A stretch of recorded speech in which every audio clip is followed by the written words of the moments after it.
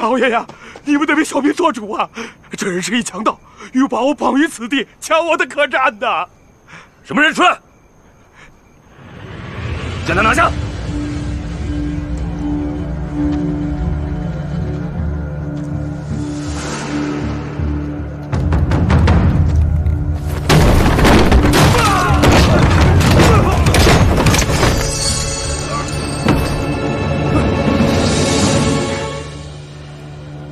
你们的主子真是越来越没有出息，开黑店打埋伏，简直侮辱他祖上的英名。过了今日，如果还有命，回去劝告你们的主子，如若再向鼠辈行事，将来方某肯定回礼奉上。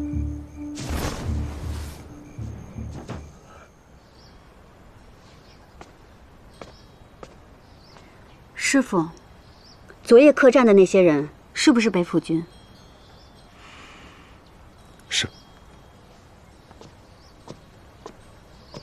竟然能撕掉北府军，说明这个人一定不一般。他到底是什么人？上元节刺杀您的，是不是也是他？他是我的旧相识，有些私怨，但不必忧虑。你做好你自己的事情就行。对了，巡查铺子的事情，不必急于一时。既然你已经开始办差了，多的是历练的机会。只要你不再有刺杀陛下之心，就留在疾风馆吧。他们明显是冲你而来，日后出入要小心，处理一下伤口。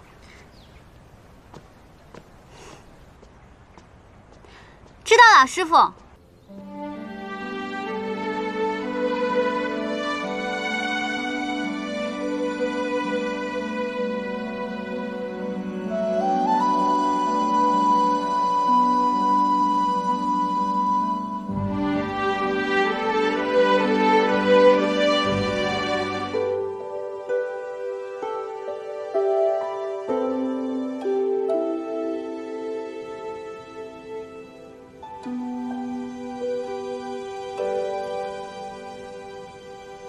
又让厨房做烧鸭子了？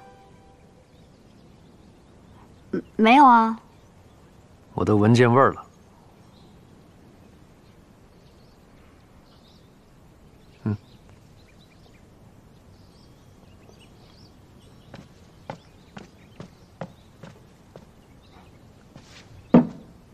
这确实是一盘烧鸭子。我见到师傅就不好意思拿出来了。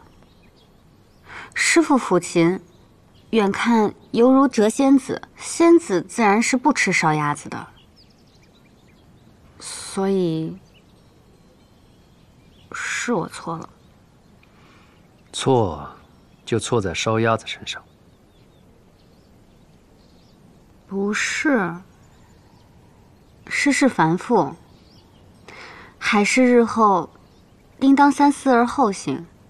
不会凡事只看表面，定不负师傅期望。所以师傅是原谅我了吗？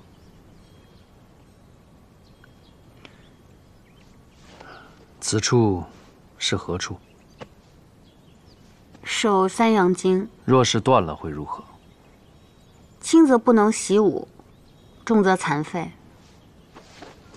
知道，还不服药？自己思过，回房去。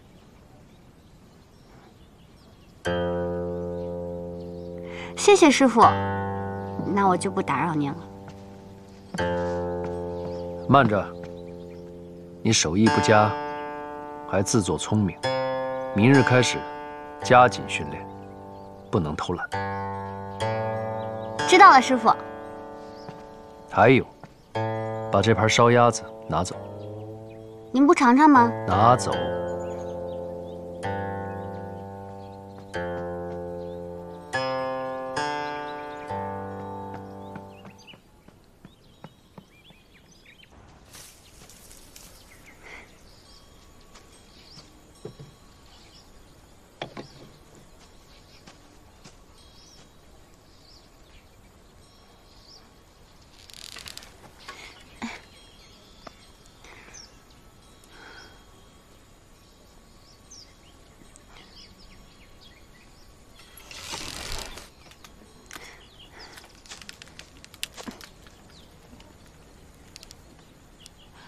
师傅，看把戏。师傅，那日我走了以后，您是不是因为担心我，所以才一路跟着我？心中挂着“我”字，容易射不准。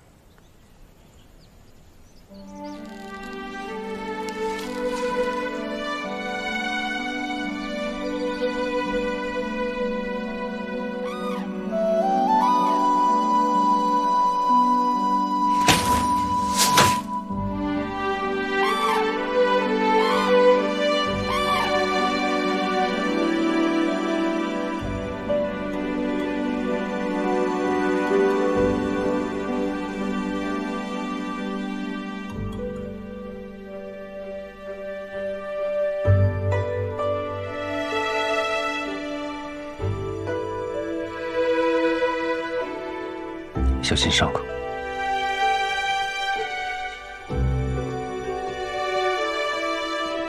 知道了，师傅。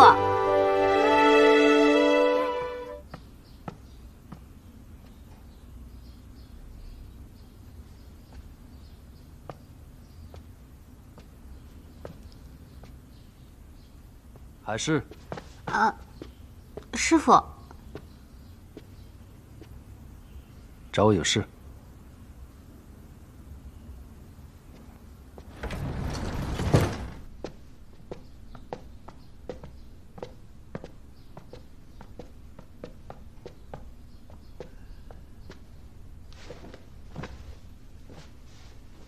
坐吧。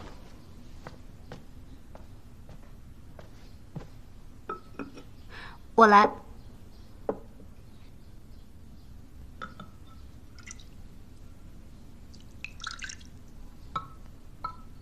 师傅，您刚才去宫里了？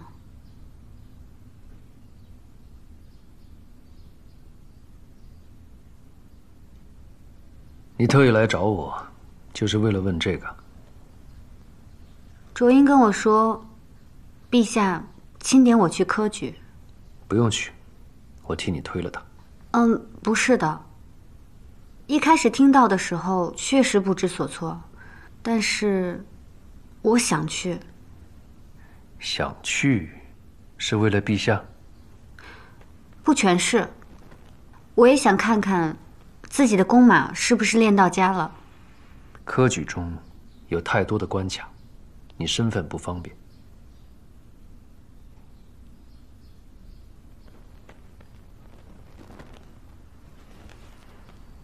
若真想去，那就去吧。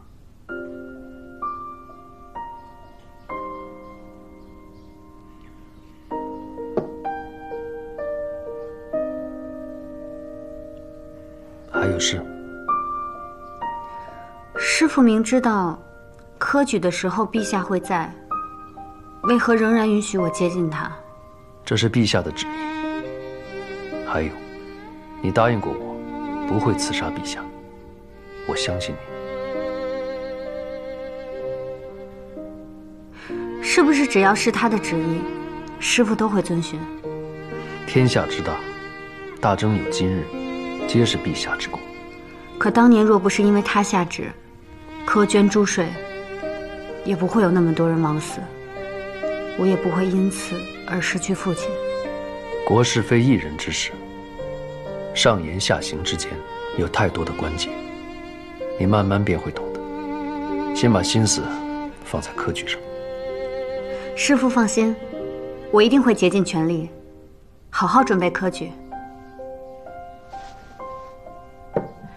那我这就去练习了。徒儿告辞。仔细臂上的伤。